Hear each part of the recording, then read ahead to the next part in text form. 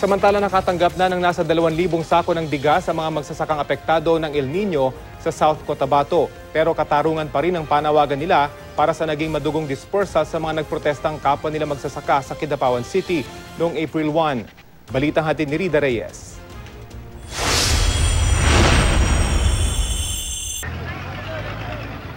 Nakakangiti na ngayon ang mga magsasakang nagprotesta sa Coronadal City, South Cotabato.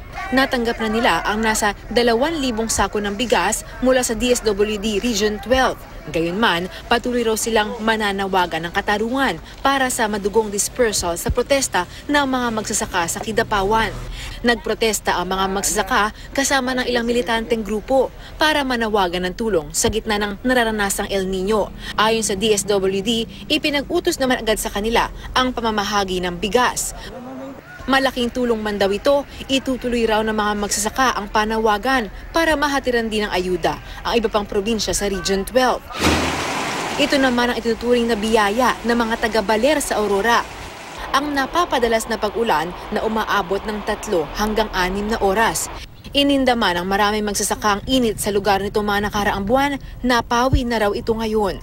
Opo, malaki pong tulong yun dahil po kuwan ay kaya po nito, nagtatag-init tayo. Kailangan po namin ang tubig.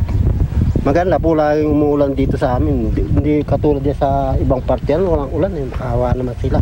Pagtitiyak ng National Irrigation Administration, may sapat ng supply ng tubig ang probinsya dahil sa nararanasang ulan.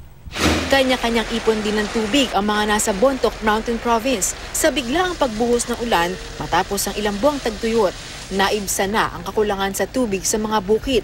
Naapula pa ang mountain fire sa sitio Tablaan sa barangay Bontoc, Ili. Pero ang mga nasa Bohol, hindi kasing palad. Nagdarasal pa rin ng ulan ang mga may-ari ng fish ponds. Ngayong buwan sana hahanguin ang mga isda para maibenta. Pero ang mga palaisdaan, tuyong-tuyo na at nagkabitak-bitak pa. Ayon sa Bohol Agriculture Office, halos lahat ng bayan at lungsod sa Bohol apektado na ng tagtuyot. Ang pinsala sa mga taniman at palaisdaan umabot na sa halos 400 million pesos. Rida Reyes, GMA News.